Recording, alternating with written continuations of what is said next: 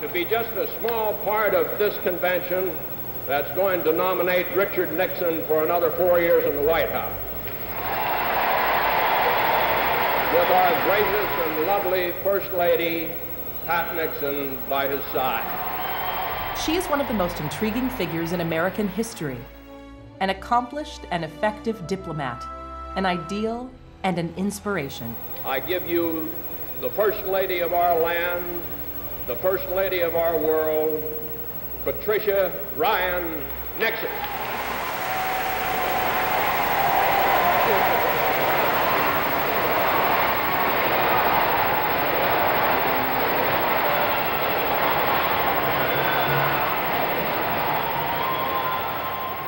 I think you were in high school, your mother died rather early, and then you had to take care of your father, and you were on your own. Did you kind of take care of the family?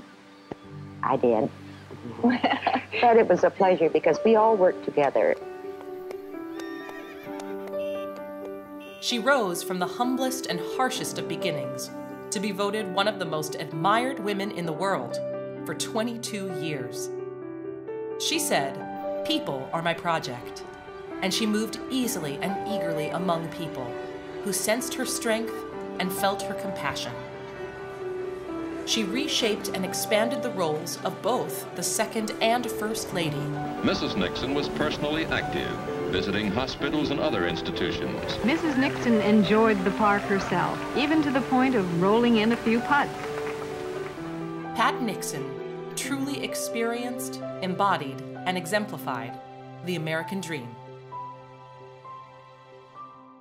Her story began in a cabin in the Copper Hills of Nevada, late on the night before St. Patrick's Day, March 16, 1912. She lost both her parents by 18 and went to work to pay the bills and keep her two brothers in school. She never let her hardships limit or define her. Independent and adventurous, in 1932, she answered an ad to drive an elderly couple across the country. They were surprised that Pat Ryan was a girl, but she got the job. She stayed in New York and took a radiology course at Columbia University. Returning to California, she enrolled at the University of Southern California. While you were in high school, did you decide what you wanted to do when you went to college, what you wanted to become? I hadn't decided exactly, except that I knew I wanted an education. I didn't want to marry early or uh, try to go up without the education which I felt was necessary. To pay for her schooling, she found work in a Los Angeles department store and as an extra in Hollywood films. And I was offered um, part, but I decided not to drop out of school. And in 1937, when only one in 10 women earned a four year degree, Pat Ryan graduated cum laude and with the equivalent of a master's degree. After graduation, she taught at Whittier High School, where she met a young lawyer named Richard Nixon.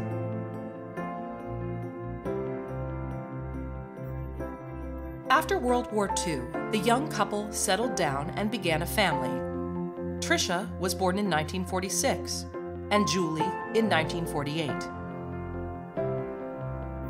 When Dick ran for Congress from California's 12th district, Pat was an equal part and partner in the campaign, and the formidable Nixon team was forged.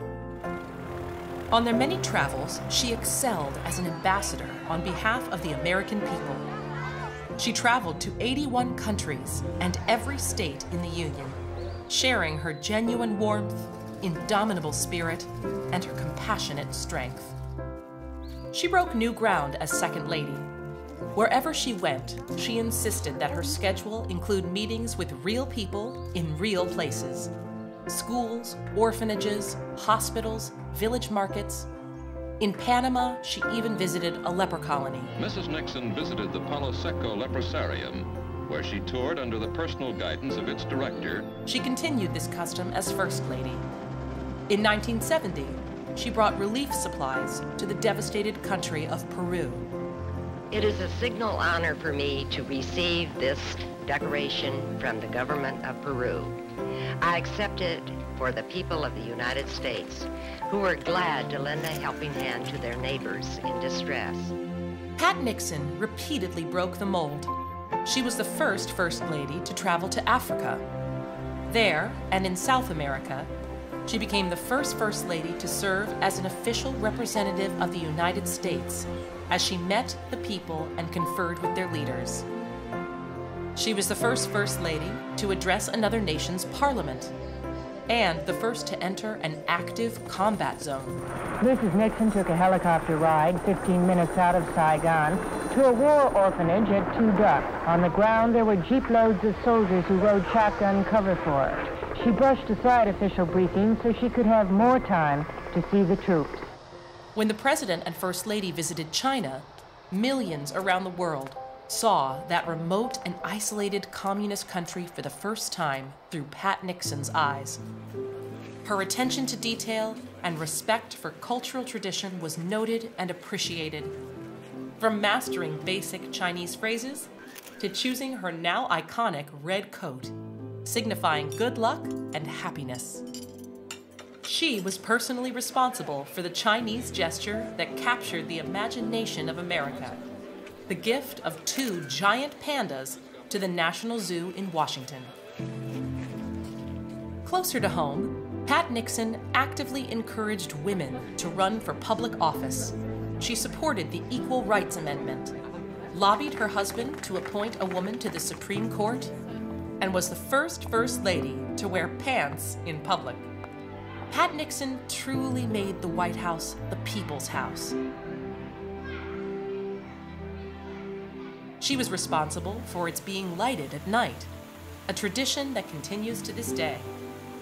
She initiated rose garden tours and candlelight Christmas tours, and as part of the extensive White House renovations, which she oversaw. Good afternoon and welcome to the beautiful new Blue Room of the White House. Installed wheelchair ramps, pioneered special tours for the blind, and acquired more than 600 historic paintings antiques, and furnishings, more than any First Lady before or since. She was the most public of figures, but she was intensely private, and only a lucky few knew her fun loving spirit and her sly sense of humor. Yes, I do, uh, from time to time, have a good laugh over the fact that I'm supposed to be shy. Her later years afforded Pat Nixon what she truly desired most time with her family, including her four grandchildren Jennie, Alex, Melanie, and Christopher. She passed away, surrounded by her family, in June of 1993. Pat Nixon was as accomplished as she was modest, as strong as she was warm. Although she spent nearly 50 years in the public eye, she never sought the attention that came with her positions or activities. Even if people didn't know her, they knew that they admired her. Mrs. Nixon should not be underestimated. When you think of Pat, her husband of 53 years said, I hope that you remember the sunshine of her smile. She would like that.